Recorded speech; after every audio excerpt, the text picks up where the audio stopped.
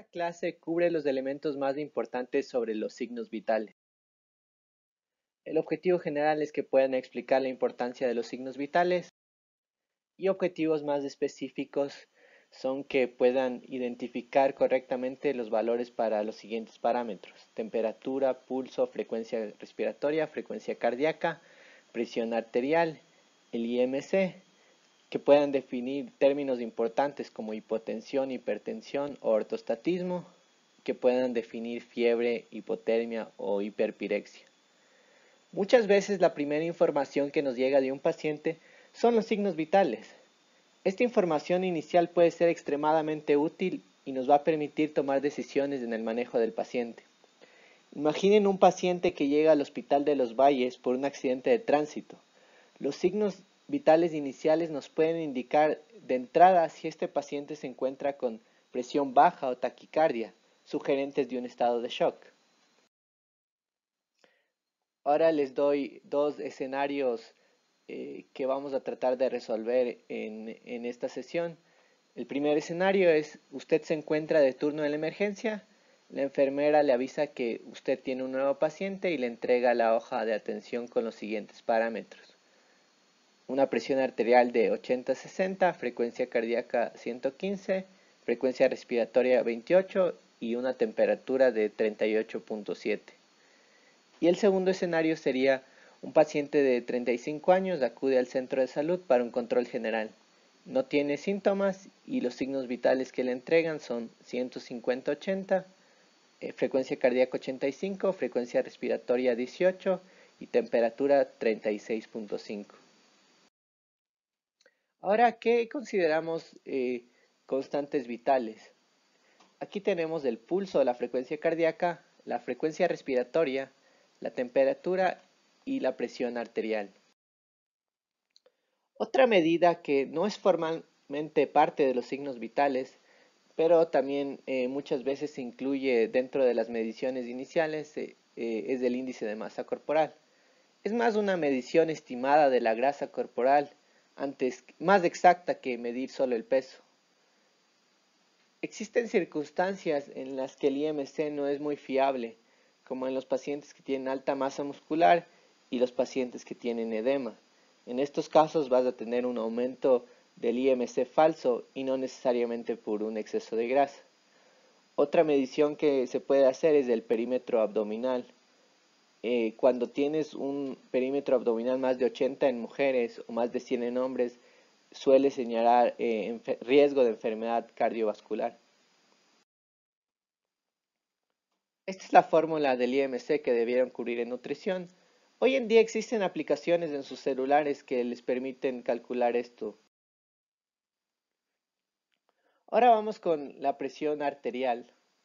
La presión arterial es una medida hemodinámica que se mide con la ayuda de su tensiómetro.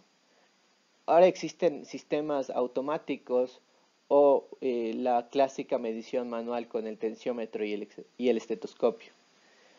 La medición arterial es importante si tomamos en cuenta que la hipertensión es una de las enfermedades más prevalentes de nuestra sociedad y el tratamiento efectivo de la hipertensión previene enfermedades como accidente cerebrovascular o infarto agudo de miocardio. Así que si ustedes detectan un paciente hipertenso y que diagnostican como hipertensión, realmente esto les indica que ustedes deben iniciar un tratamiento para la hipertensión. ¿Qué consideramos como presión elevada? Existen distintas definiciones de hipertensión, pero quedémonos con una sencilla que sería una presión arterial mayor a 140-90 en, en dos mediciones separadas. Su libro menciona otras definiciones de hipertensión que pueden eh, ser distintas, con cortes distintos según el método de medición. Por ejemplo, si se usa un método de medición automatizada eh, ambulatoria. Ahora existen eh, algunos tipos de hipertensión. La hipertensión de bata blanca y la hipertensión enmascarada. ¿A qué nos referimos con estos tipos de hipertensiones? La hipertensión de bata blanca se refiere a una presión alta en los pacientes dentro del consultorio médico, pero cuando uno realiza mediciones ambulatorias en casa, este paciente no se encuentra hipertenso. Este fenómeno ocurre generalmente en individuos ansiosos o en mujeres, generalmente tienen un nerviosismo eh, a los médicos o, al ambiente hospitalario, por eso se le llama hipertensión de bata blanca. La hipertensión de bata blanca no es realmente una hipertensión y por lo tanto no tiene un riesgo cardiovascular. Ahora vamos con la hipertensión enmascarada. La, eh, la hipertensión mascarada oculta es en cambio el fenómeno opuesto. Realmente son pacientes que presentan presiones arteriales normales durante la visita médica, pero en realidad si hicieran eh, mediciones ambulatorias de este paciente, las presiones estarían elevadas.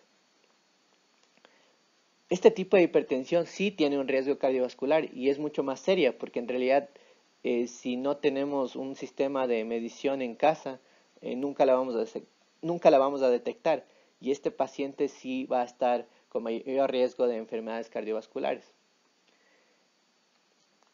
Ambos tipos de, hipertensión pueden ser diagnosticados con mediciones eh, ambulatorias automatizadas.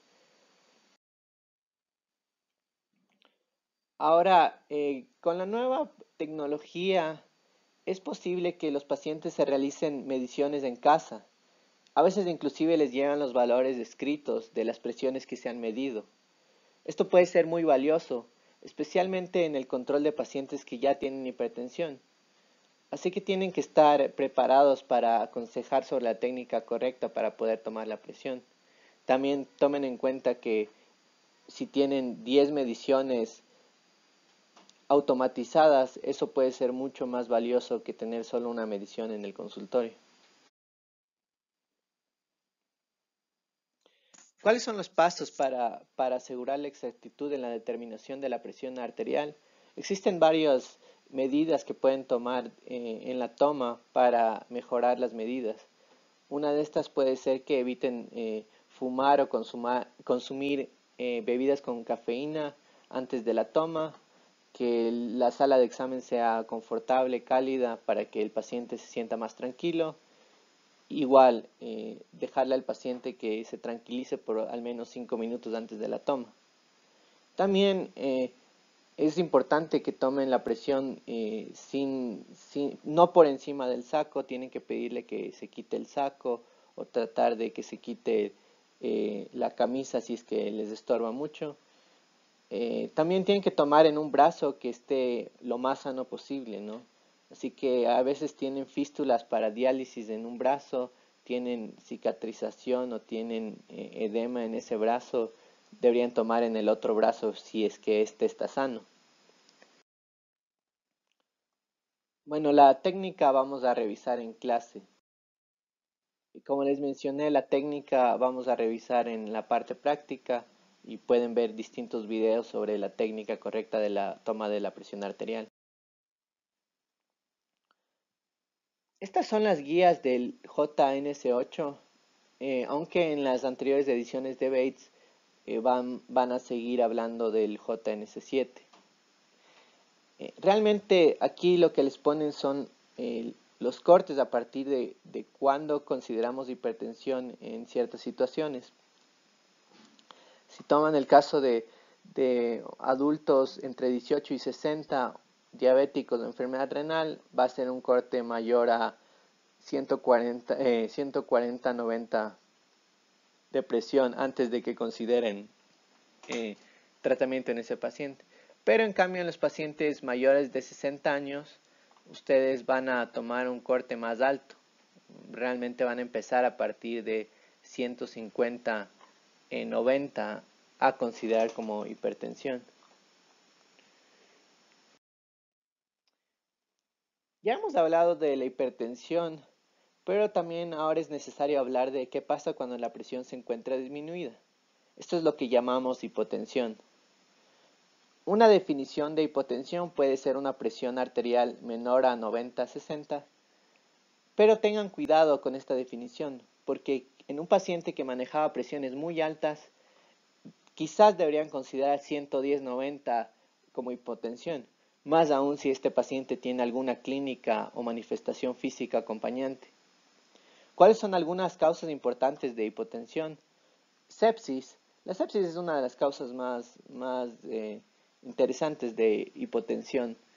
Como van a ver en este módulo introductorio de enfermedades infecciosas, la sepsis genera un proceso de, vasodilatación sistémica y aumento de la permeabilidad capilar que va a llevar a una baja de la presión.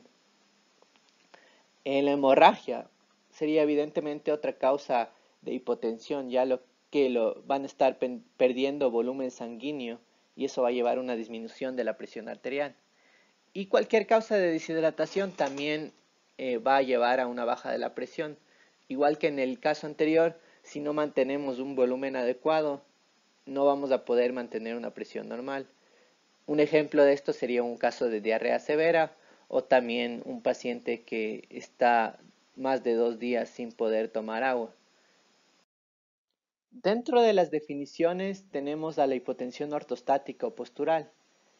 Esta se mide midiendo la presión arterial en dos posiciones, que van a ser acostado y parado o sentado y parado. La presión, eh, la hipotensión ortostática se define como una caída de la presión arterial más de 20 en la sistólica o más de 10 en la diastólica dentro de los tres primeros minutos del cambio. Eh, así que aquí lo que tienen es una cama especial eh, que se llama el TIL test. Esta cama les permite medir la, presión arterial en dos posiciones. Lo que van a hacer es, es medir la presión acostada en la cama y luego eh, pueden ponerle en posición vertical, que es lo que se muestra en la imagen. La hipotensión ortostática puede ser una manifestación temprana de pérdida de volumen, incluso antes de que aparezca hipotensión franca, pero también puede ser un efecto adverso de fármacos vasodilatadores como los nitratos o que causen hipotensión como los diuréticos. Otras causas de hipotensión ortostática pueden ser los trastornos autonómicos en los que no se regula correctamente eh, los cambios de presión.